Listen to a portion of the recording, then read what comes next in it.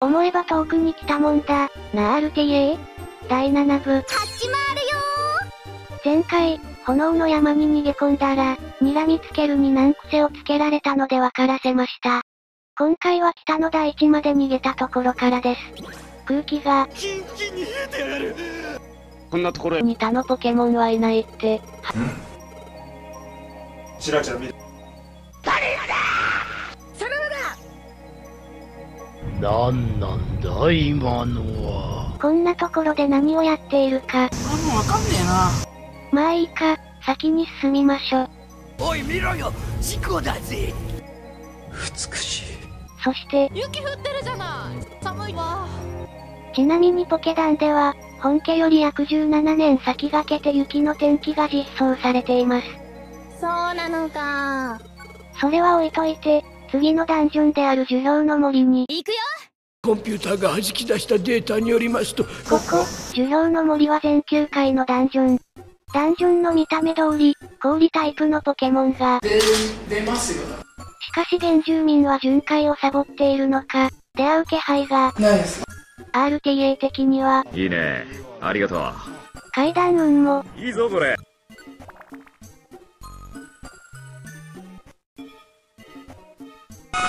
王たちは乱れきっかきの使い手、勘弁してくれよだが特性逃げ足なので、先に殴れば怯え状態になりその場から逃げ出します。逃がさないけどね。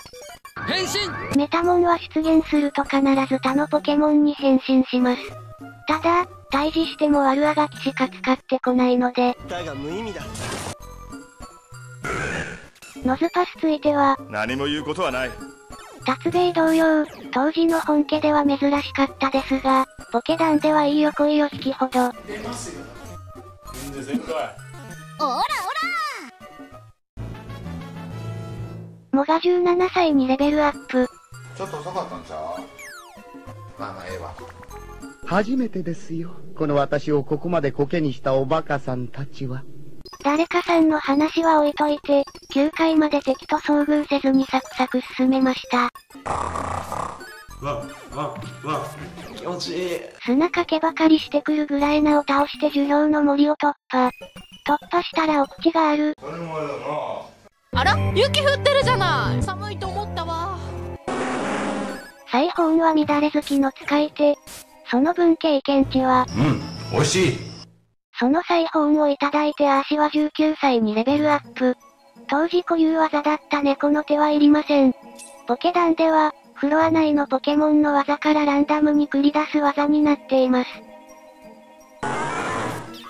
メタングは特性クリアボディによって、デバフが、ただし不正進化しているので、技が突進しかありません。バカじゃねあそうだ樹氷の森を口に落ちている種は、確定で復活の種です。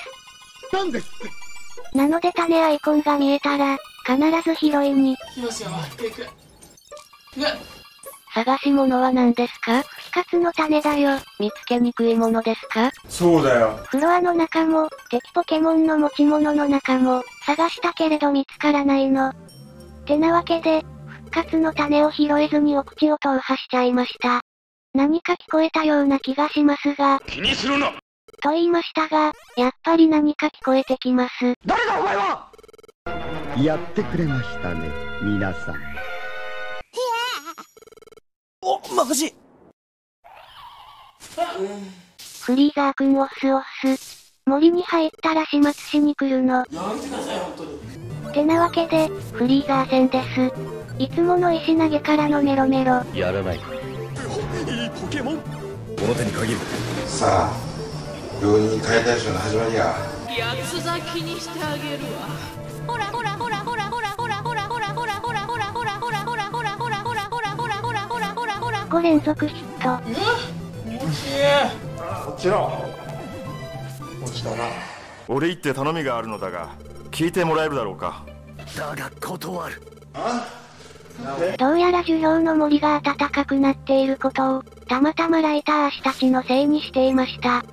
じわじわとなぶり殺してくれる一人たりとも皆さんと覚悟しろあのポケモンはアブソル。フリーザーを説得してくれるの。ありがとうございますその説得に応じたのか、フリーザーは引いてくれるそうです。ただし睨みつける同様、自然災害を止めるんだよ。あくだよとのこと。かしこまりちなみにアブソルは自然災害を察知してここに来たようです。そうなのか。そしてここからは自然災害を食い止めるために、力を貸してくれるそうです。やったぜ。アブソルのニックネームは、不要だそんなわけで3匹旅となり、雪山の道を進んでいました。逃避行の旅が続きすぎて、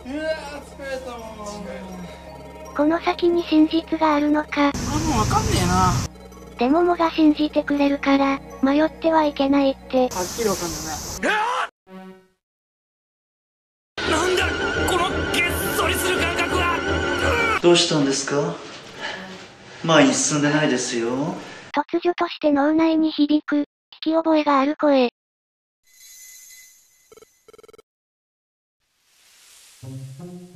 その声の主は夢に出てきたサーナイトでした。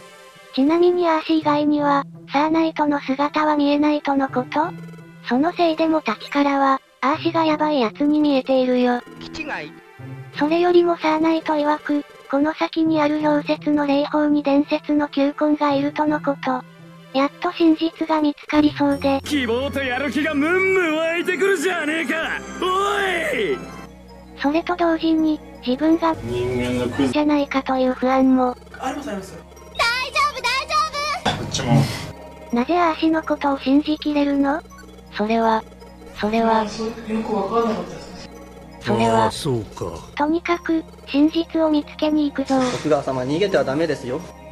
あそうだただし漬物てめえはダメだそ、そんなわわわ攻撃技がしょぼすぎて敵とアウトロするからね。しょうがないね。彼の活躍はリメイク版であるらしいっすよ。それにしても氷雪の霊峰の BGM は、たまりませんわ。しばらくは平和なので BGM を堪能して、どうぞ。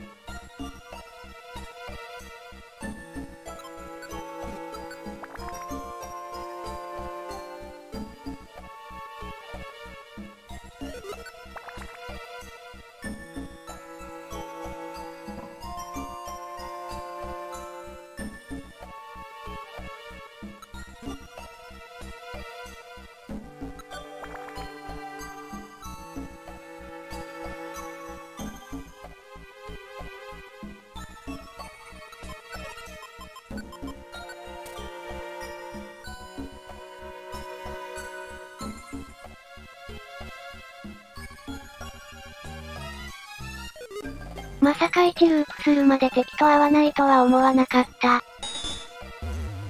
チリーンはエッジポイント100もあるタフなポケモン。もだけで相手をするのは。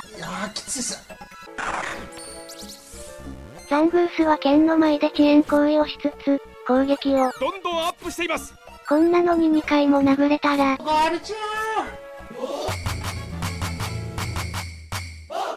ーシが20歳にレベルアップ。20歳です。ちなみにチリーンはここでのレアポケモン枠です。当時の本家ほどではありませんが、奥、なんだなんてことをするんだお前は悔い改めてください。言った新しい復活の種を拾えたし、まあまあええわただの種と交換して9階へ。あら？雪降ってるじゃない。9階からは天候が雪になります。しかし影響を受けるポケモンは、ーないです。やる気者を始末して階段に向かってもいいのですが、右上の種が気になる。さっきのように、復活の種が床落ちしているかもしれない。俺もそうなの？いらないクラボの実と交換しましょうね。これで今ある復活の種は7個。勝ったなが母。そんな中、モが18歳にレベルアップ。体当たりを忘れて噛みつくを覚えました。ラスダンに噛みつくが有効な敵がいるからね。ケッキングは、進化前のやる気者が覚えていた乱れ引っかきを忘れています。その分こっちの行動を妨害するあくびやアンコールを覚えています。ハブネークは嫌な音使いです。嫌な音からポイズンテールを受けると、死んでしまいますあとは消化試合だったので、高速移動だ中継地点に、そのまま氷雪の霊峰を口に、行きますよ行く行く。ねベネット殺されたんじゃ。残念だったな。トリックだよ。どうやら中継地点でもアブソルを待機させる。まあいいか、ついてきた以上あまり戦わせないように進みましょ。鬼氷は凍える風で攻撃しつつ、こっちの行動回数を減らしてきます。さらに影分身で回避率をブンブン上げてきます。そんなことをされると時間かかりすぎて、あそこ行きますよ。どこにも逃げ場なんてねえぞ。とりあえず石投げで隣接してくるのを待つ。そして隣接したやつから、血祭りにあげてやる。右下の鬼氷が影分身を積んでいますね。勘弁してくれよ。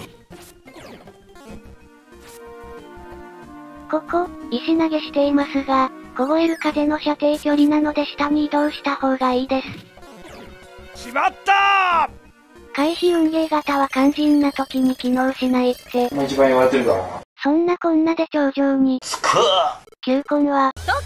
ここ？おい待て。フーディン兄貴、さっさと殺そうぜ。日がげちまうよ。お前を殺す。やってやる！やってやるぞ！てめえなんか怖がり野郎ぶっ殺しや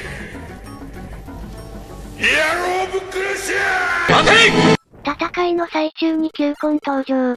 フーディン兄貴に戦いをやめるよう説得してくれます。ありがとうございますそして球根曰く、球根伝説は本当あったことですが、伝説に出てくる人間はアーシではないとのこと。ああよかっ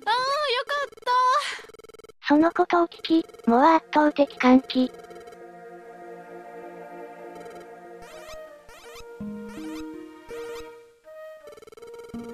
そして人間がポケモンになったことと、世界が壊れることは関係らしいです。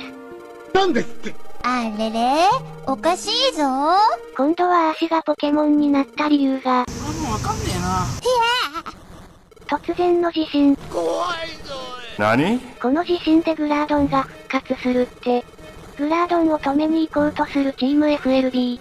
アーシたちも行こうとしますが、大丈夫だ問題ないと言ってグラードンを止めるために地底に向かいました。アーシたちは球根伝説の疑いが晴れたので、帰るかその頃ポケモン広場ではゲンガー型のポケモンたちと話していました。ここの会話でダーテングがアーシたちのこと認めているんですね。それにしてもアーシたちに濡れ衣を着せたゲンガーはふんぞり返りやがって。人間のクズがむがむが申し上げますほら帰ってきました。何？うわー疲れたもん。やっと夏が終わったんやな。ゲンガー、何をもって貴様の不義理に報いようか。アーシは伝説に出てきた人間とは関係なかったぞ。もう許さねえからな。何？証拠を見せろだって。アーシを倒させようとみんなをけしかけるゲンガー。しかし誰も襲ってきません。それはかつて救助したキャタピーやダーテングを筆頭に、アーシのことを信じてくれたから。こんなことをされたら涙が、で出ますよただしつけ者てめえはダメだそそんなわわわわわわルンパッパに進化していいよ来いよ行く行くや10時間フラフラダンスを踊って、悔い改めてくださいそんなことを言っている間にペリッパー兄貴がアーシが無実のことの号外を出してくれました。ペリッパー兄貴の優しさに圧倒的感謝。これで球根伝説の件は、終わり閉店以上それじゃ、帰って寝て明日からの救助活動を備えます。今回はここまで、ご視聴ありがとうございました。